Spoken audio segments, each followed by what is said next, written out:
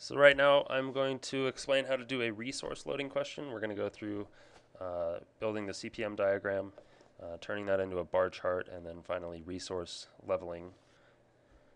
Uh, so to start off, you'll be given a table that looks like this, gives you activity, what is preceded immediately by, um, the duration, and the resources that it requires.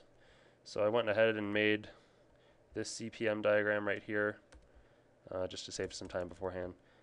You can see that A is the first activity because it's not preceded by anything, and then B, C, and D are all preceded immediately by A. So that's why an arrow goes directly from A to all three of those. Um, and then E is preceded immediately by B and C right there. And so that's why both of those arrows go to E. And F is only preceded immediately by D. So that's why only one arrow goes there and so on and so forth for the rest of the CPM diagram. Uh, to start off, I'll do the forwards pass right now. So the earliest start we can get is obviously on day zero. Um, and the duration of A is three days, so the earliest you can finish is three days.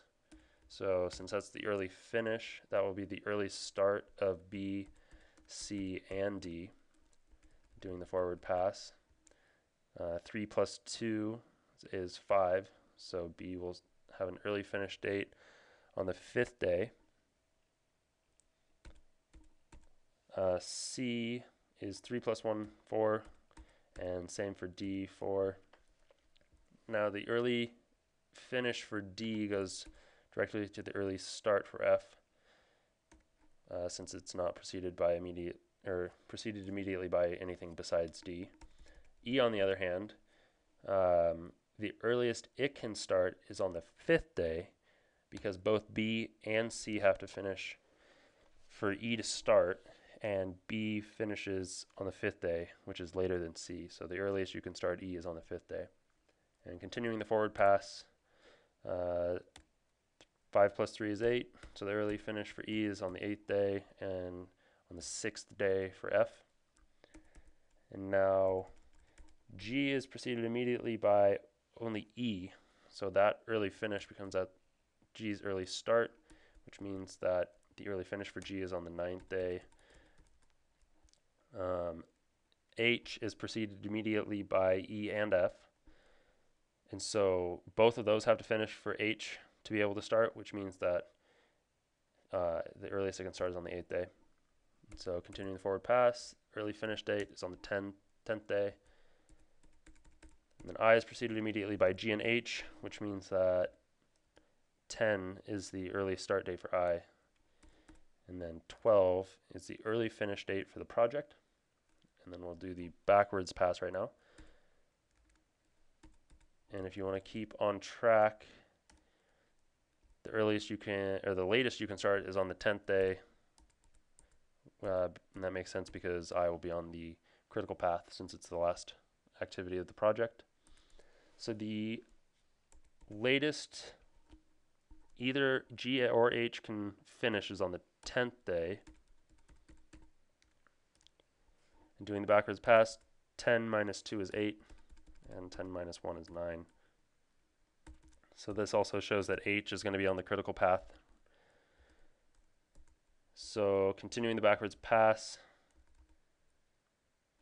uh, the latest that F can finish is on the eighth day, which means that the latest it can start is on the sixth day. And the latest that E can finish without delaying the project is on the eighth day, which means that the earliest or the latest it can start is on the fifth day.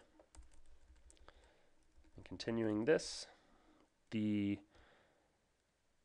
late start of E is the fifth day, so that means that the late finish of B and C is on the fifth day.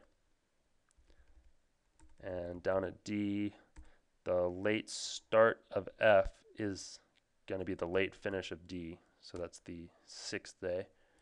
And continuing the backwards pass, 6 minus 1 is 5, 5 minus 1 is 4, and 5 minus 2 is 3. So that shows that out of B, C, and D, only B will be on the critical path. And continuing, the latest that A can finish without delaying the project is on the third day, which means that the latest it can start is on the last or the zero day, which makes sense because it's on the critical path. So I'll go ahead and show you what the critical path is. It's going to be this right here.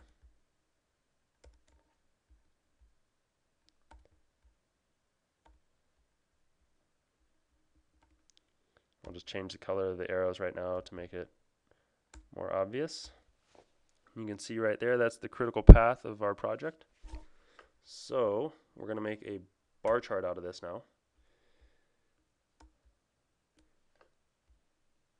So, um, activity A goes for three days. So the first, second, and third day.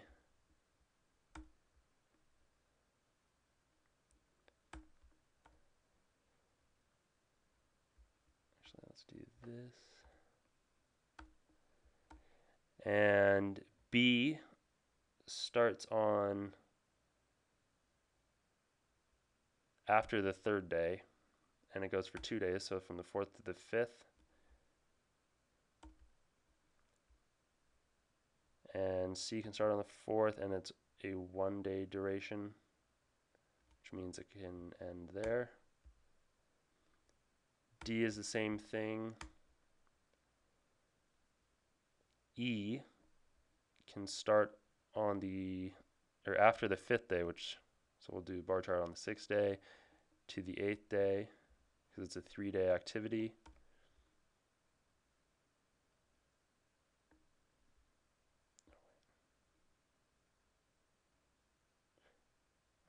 Uh, so C actually can go to the fifth day. You're going to have some float there. Sorry about that. And D can go to the sixth day.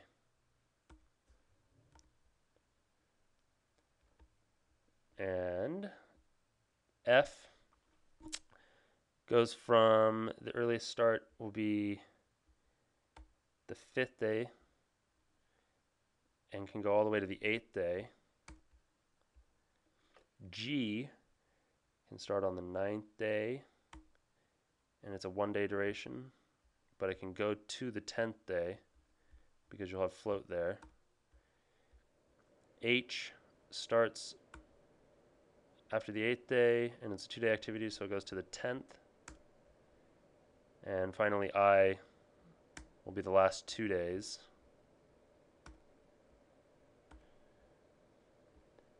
And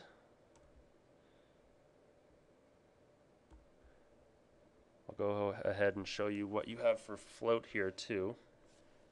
So, A, you will not have any float. On B, you also will not have any float. On C, you'll have one day of float.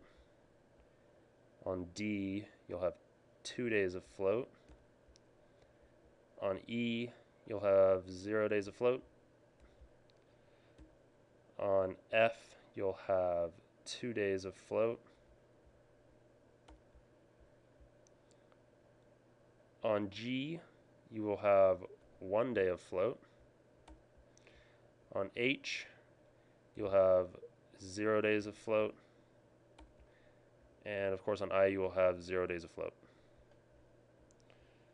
And if you didn't see how I got that, um, take for example C. Early start is on the th third day, and the late start is on the fourth day. So you have a one day difference there, which means that you'll have one day of float up here on your bar chart.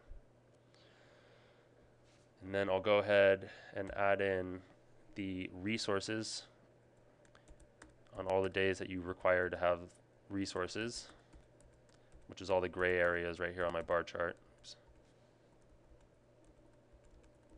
I screwed up right there. So you need three resources for B, two resources here, one resource,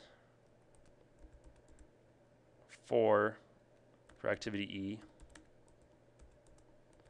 one resource for activity F, two for G, three for H, and two for I. You can see right here, there's a little line that just says demand, and all that is, is it tells you on any given day what is the total required amount of resources in the bar chart. And I've gone ahead and made a graph here which shows you uh, the dozers, which is the uh, resource that you'll need, how many dozers you'll need per day of your uh, of your project. And so we'll use the float to resource level this, and that is done right here. So you can see that activity C was delayed one day. You had one day of float. Activity D was delayed two days. You had two days of float. Um, activity F was also delayed two days, and activity G was not delayed at all, even though you did have two or one day afloat. And you can see the difference in your resource or your uh, dozers per day versus this is the uh, resource leveled graph. You can see for the first three days you'll only need two, and then on the fourth day it jumps up to three. For days five through nine, you'll need five, and then it goes back down to three on this tenth day, and then two on the eleventh and twelfth days. Versus before resource loading, you had quite a mess. And for the first three days, it would be two dozers, and then you need to jump up to six on the fourth day, and then get rid of one for the fifth and sixth day, and then get rid of one for the seventh and eighth day. And it's just not very uh, economical to be getting rid of dozers and bringing them into the job site like that. So there you can see that resource loaded is much easier. And there you have it. That's all you need to do for a resource loaded question.